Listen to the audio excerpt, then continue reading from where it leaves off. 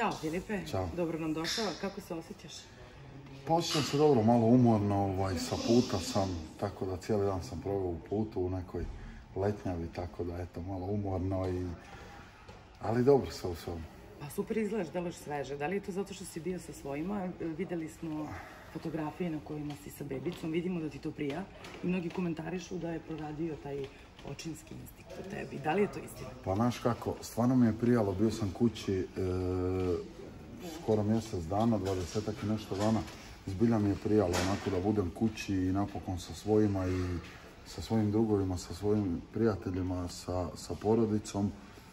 Tako da mi je malo i teško palo što sam morao danas da.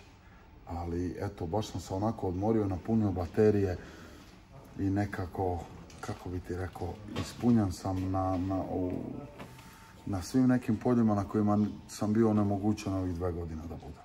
Kada smo kod tih polja, da li si ispunjen emotivno u smislu da postoji neka, bar potencijalna priča, neka nova devojka, nova simpatija, neka emocija, što god to Znaš kako potencijalno uvijek postoji, ali neka sad veza ili nešto stvarno ne.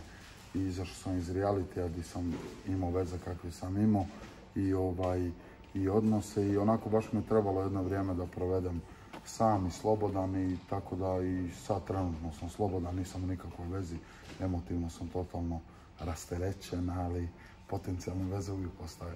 E, ti si rasterećen, ali domaća javnost nije.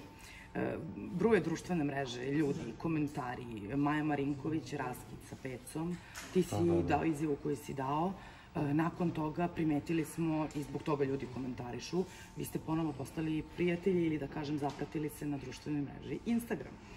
E, imaš osmeh na licu koju je ona danas imala, e, zagonetan. E, šta se krije iza toga? Da li ste u kontaktu, da li ste se čuli, da li ćete se čuti, sve nas zanima. Znaš kako, ovaj, nismo sad neko, u nekom specijalnom kontaktu, jesmo se čuli, ovaj, ali samo jednom nešto na kratko i nekako u tom razgovoru je bio dogovor neki da ćemo o nekim stvarima o kojima bi trebali, jer prvenstveno smo nekad prije tog ljubavnog odnosa bili prijatelji, da bi trebali o nekim stvarima popričati.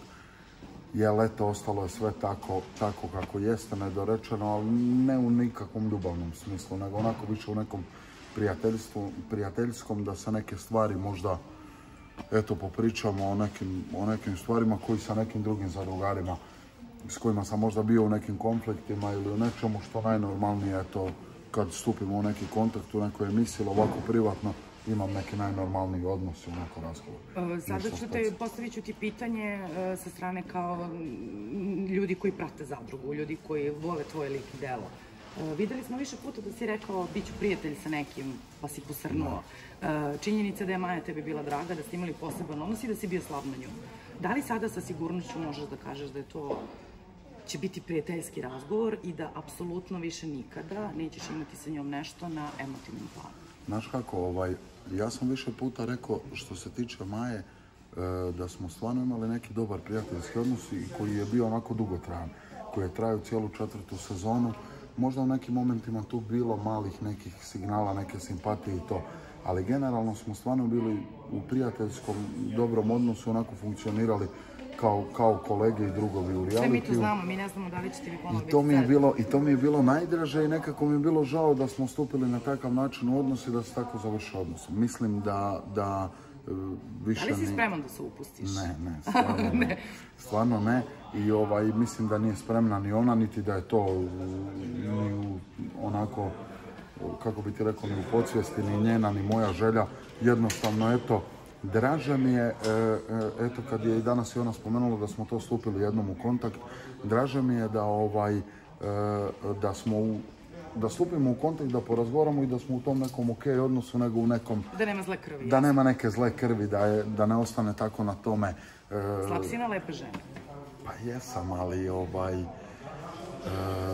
više sam nekako, kako bi ti Da li si rekao, stekao imunitet umeđu vremenu? jesam, jesam. Čim ja nisam nakon ove sezone, nakon ove zadruge, imao sam taj zadnji odnos koji sam okončao po izlasku, koji je stvarno onako me dosta iscrpio i emotivno i ovaj i psihički, onako malo sam, mogu ti reći, bio pogubljen. Dok nisam došao kući, onako slego sve utiske i onako došao sebi i sad malo bolje kad razmislim, vidim da i dan danas još nisam spreman da u nešto uđem, pa čak ni u neku kombinaciju, a kamoli vezu. To je bilo moje sledeće pitanje. Tako da, tako da stvarno, znaš, ono, i da radilo se i o Majilu, bilo kome drugome, ja jednostavno ni- nisam spreman. Nisam spreman da se upustim u nešto zato što e, mi je ovako najbolje i smatram da još moram e, neko vrijeme da radim na sebi da bi onako bio, bio ovaj, uopće spreman da se upustim u bilo šta. Ništa Filipe, hvala ti puno, Hvala vidjet tebi. ćemo se nešto kasnije. Hvala ti.